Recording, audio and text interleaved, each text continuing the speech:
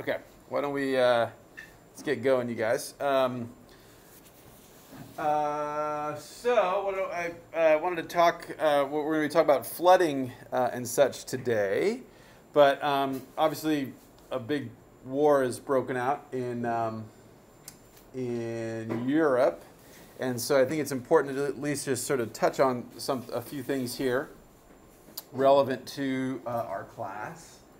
Um, this is this is obviously not a traditional um, disaster the way we've been talking about it. As we mentioned before, uh, specifically the definitions of environmental disaster, natural disaster, all those terms, and if you recall back to the start of the semester, those things explicitly excluded war, right? Explicitly excluded people actively wanting to fight with each other. Um, uh, as a disaster. Nevertheless, these activities um, uh, clearly can, you know, cause all kinds of knock-on effects. Just like we, we've seen with other disasters, it might start with a wildfire, and that's, you know, obviously a horrible thing and causes problems. But then the wildfire might beget a landslide, which is another disaster, right? All those sort of secondary um, disaster, secondary knock-on effects.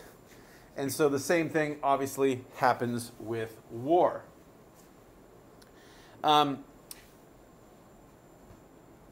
much of the war in the last many years has um, taken place in, in faraway places um, and uh, uh, in places with not maybe the most robust infrastructure, et cetera. That's not so much the case here uh, in terms of what's happening. Couple important things we'll note. Uh, uh, so this is Ukraine, obviously, and this is the Russian invasion uh, of Ukraine that is going on as we speak. Um, uh, it, it, sounds, by all reports, that Russia was thinking they would just blast in, do their typical stuff like they did with Syria and elsewhere, and just kind of go, oh well, you know, tough, tough, we're here. Um, but the Ukrainians have shown a lot of resistance, and that's translated into slowing down the military progress. But that's also, it, you know, stopping them from getting to their, their objectives, which appear to be to execute the government and, uh, and put in a puppet regime. But regardless, um, this slowing down has all kinds of consequences. So one of the things right here, we've not talked about nuclear accidents yet, but this is Chernobyl. Uh, this uh, was uh, th this happened on my 16th birthday, um, and was this uh, massive radiological leak, um, meltdown of a reactor. Um, so Russia, Russian troops now control that part of uh, the Ukraine. So obviously you can imagine in war people do horrible things. They blow up stuff and shoot at things, and it's desperate time probably not a great thing to be to be fighting around a um, you know nuclear uh, what's now called the sarcophagus, this sort of uh, concrete tomb that goes over that area. In addition, we have reports of some major oil spills um, uh, as as different uh, areas have been become, come under attack, etc., um, and so on and so forth. So. Um, well, the purpose of this is not to talk about uh, war per se, um, there are a lot of parallels with our disasters, right? And one of the most important things I want to um, just emphasize is um, information and how information comes to you and to me in today's uh, in today's era, right? So historically, last many decades, when something would happen, a hurricane would hit, an earthquake would hit, um, that'd be horrible. You would have reporters would go in people that, that it's their job to interpret, right? Maybe they're not all great reporters, but nevertheless, that's their profession is to, to synthesize information, uh, you know, take all these different sources, suss out which one is right, which one's wrong, who seems to be telling me something not really right, um, and then uh, only trust the person that, that seems to be, um, you know, speaking the truth, etc. Maybe some firsthand accounts on, the, on a phone call or something of that nature, and we would get the information. Obviously now the big uh, way information is flowing in these uh, time critical moments is through social media. And so social media can be a very powerful tool. It can also be a very powerfully misleading tool.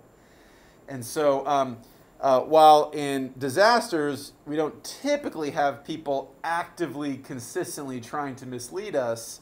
Um, we sometimes do. We sometimes do. We also have a lot of folks that may not be intentionally trying to mislead us, but um, just might be spreading a rumor that they heard, you know, tr- trying to be um, helpful or, or, thinking they're not doing anything wrong. And, and both of those sources, active misinformation and unintentional misinformation, can get really blown up and can, and can um, start to drive the narrative even. And so we're seeing that um, in this event. So again, we're seeing that with active propaganda on both sides. We're seeing that active propaganda from the Russians and active propaganda from the Ukrainian side. And so it's just one little example. Um, this. So, so this was a story that started circulating on Friday.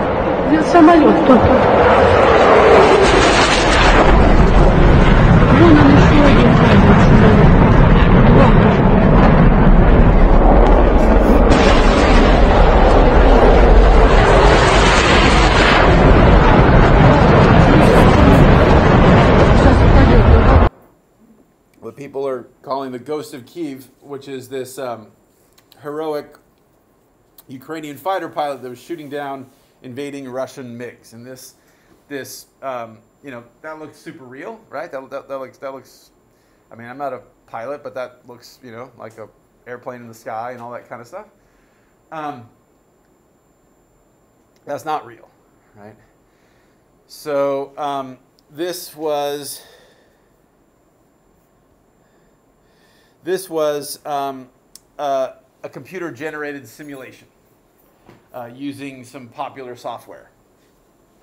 The gentleman that produced this, and you guys can go and, and read the Snopes article on it if you want, um, but, but the gentleman that produced this actively said, hey, I made this. This is not a real thing. Well, let me step back. So there, there, may, there seems to maybe have been a pilot, uh, uh some some Ukrainian pilots that, that shot down some uh, Russian MiGs, right? Russian fighter jets. Uh, but um, but it's but you know it's it's as in all these situations, right? This guy maybe shoots down one plane, then it becomes two, then it becomes three, then it becomes four, and you know all that kind of stuff. And so this the gentleman that made this uh, fake video said he did it to honor this guy. He did it as an example of what he thought he was doing. And then quickly, that I think this was that gets retweeted, reposted, whatever, and that context gets stripped away.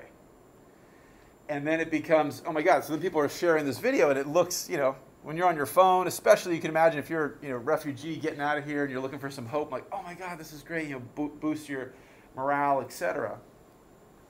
And that's how this stuff can, can spread. So, so it's always hard to sift through um, information, this sort of just spitting out fire hose of information um, in the best of times. But in a disaster context, and God forbid, in a war context, it is really hard to know what is legit and what is um, not. And so, so the best things when we do have these events the best thing to do is to actually you know rely on again those those folks that you've been following for a long time that you know are reliable folks that again that their profession is to is to um, uh, you know collect facts interpret facts report facts. Um, they have the resources hopefully to vet if these things are are true or not. And so again a, a lot of a lot of broad similarities to when we have disasters break out. Um, uh, I can list any number of examples, but for example, uh, Cal active propaganda would be an example of Cal Fire saying that drones are a danger for airplanes fighting wildfires. Um, that was a, that was a political decision they decided. Absolutely, drones can be dangerous when people do stupid things to them, but they were nowhere near the danger they, they were presented to be. Um, in in the case of California, we waited for a reporter to go at, walk up to a CHP guy and say, "Hey, can I fly my drone to take a picture of this wildfire?" And the, and the reporters and the uh, excuse me, the CHP guy said, "Yeah, sure, whatever, that's cool." Guy flew it up. Then Cal Fire grounded all its airplanes and said, "Oh my God, this is a terrible threat. We we need a law." and this is super dangerous. And so they, they that worked. So that so Cal Fire got a law passed in California saying anybody that flies their drones around uh, in a disaster area is can go to jail and all this and that. And so again, clearly there's yahoos that do stupid stuff, and people shouldn't be you know willy nilly flying stuff. But but you get that type of of um, active misinformation that comes out, and then we get things like uh, when in New Orleans in the wake of Hurricane Katrina, when we have you know total chaos, city flooded, which we haven't talked about yet, but we will, um, and all kinds of craziness. And what happens? Um, people start claiming that there's snipers taking shots at the law enforcement, the rescuer folks.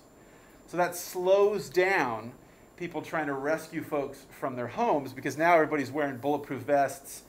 They're, they're working in teams. They're, they're you know carrying weapons and all this kind of stuff. And, and it just and that information came from the police, from the New Orleans Police Department.